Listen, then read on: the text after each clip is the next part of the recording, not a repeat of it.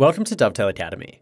In this video, we'll show you how to use fields to organize your data and get more out of your analysis. To help explain fields, we'll be using a project set up for analyzing customer interviews. We've already highlighted and tagged our interviews. Next, we'll be using fields to help us organize our data into segments. Those segments will help us analyze our findings further. And although we're focusing on customer interviews as an example, you can use fields to organize almost any kind of data in Dovetail. To get started, let's open our project. We're looking at our notes in a grid view.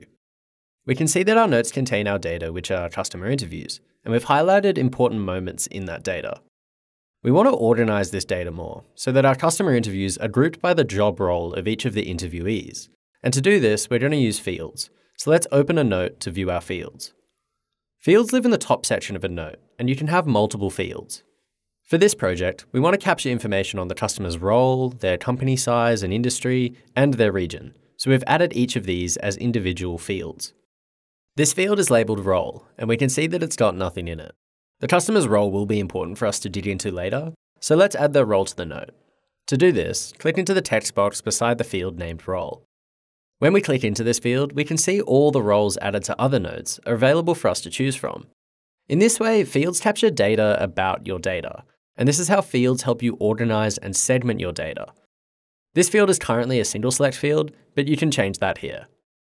In this case, our customer is a founder, so we'll create a new role and enter the property founder. Great, now that we've added this information to our note, let's see all of our notes, grouped by their different roles. Let's click into our notes and change the view to board. We want this view to group our notes by the role of the interviewee, so let's group our notes by the field that is named role. Now that our notes are grouped by role type, we're ready to start leveraging this view of our data for deeper analysis. Most of our customers fall within the manager group, so let's focus on analysing this group further.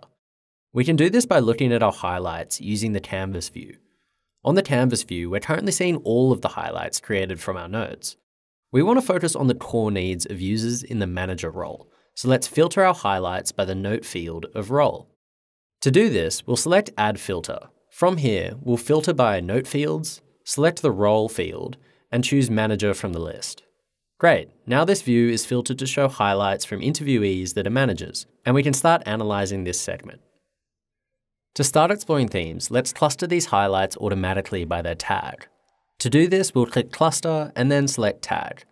Now that our highlights are automatically clustered by tag, we can see that there are two clear groups created around the efficiency tag and another around the collaboration tag.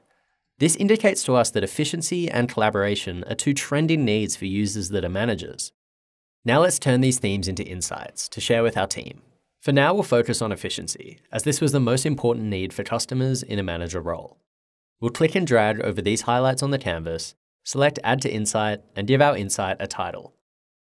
From here, we can work on making our insight more digestible for stakeholders. Check out this video if you want to learn more about that. And that's how you can use fields to organize your data and get more out of your analysis in Dovetail. Get started creating fields in Dovetail today so that your team can advance your customer understanding. Also, click subscribe for more tips, tutorials, and stories about insights.